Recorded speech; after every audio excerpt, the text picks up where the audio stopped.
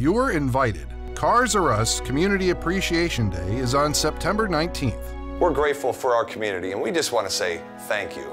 Giveaways, live music, and fun for the whole family.